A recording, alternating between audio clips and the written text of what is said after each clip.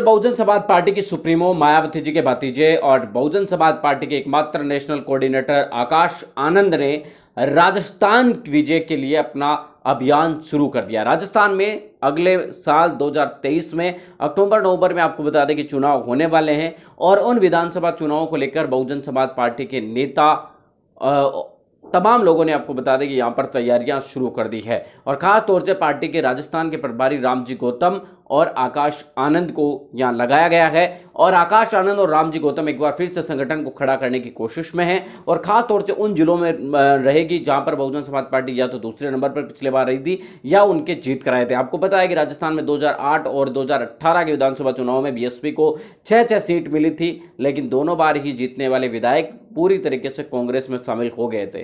तो इससे मैं आपको बता दें कि बीएसपी के सामने यह भी चुनौती रहेगी कि वो ना बिकने वाले विधायक तैयार करें।